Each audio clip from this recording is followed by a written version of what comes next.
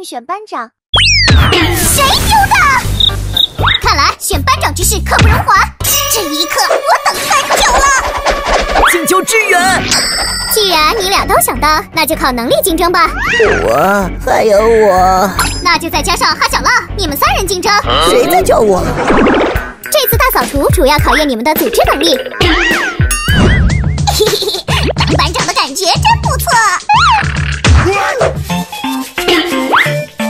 谁打扫的？太脏了，扣分。干得不错。给我住手！这一关考验你们的调解能力，谁能化解他们的矛盾，谁就是。加油啊！别停！你不是劝架的吗？这么精彩，为啥要劝？其实二对一更精彩。牺牲自我成全他人，太无私了。我们还没开始呢。比下，比下！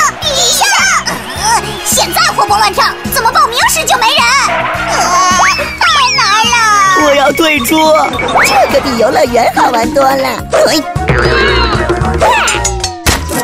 浩小浪都是为了我们班级的荣誉才这么拼，不能让他孤军奋战。这就结束了，我还没玩够呢。我宣布，哈小浪就是我们的新班长。啥班长？谁让你每次都不把话听完？不过没关系，班长非你莫属。外星同学入侵危机，大家鼓掌欢迎我们外星同学。嗯，呃，外星同学，你的新座位一会儿就送来。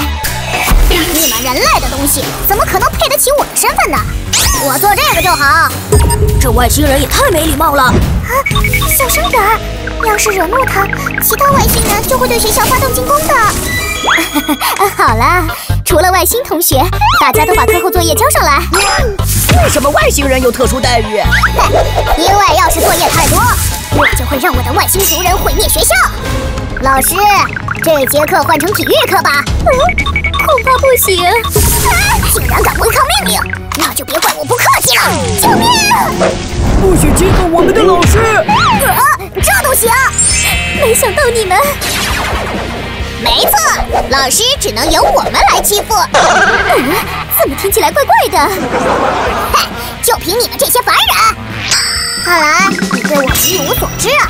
激动光波，你你们怎么都会超能力啊？超能力，时空穿梭，光之国。哼，让奥特曼好好陪你玩吧！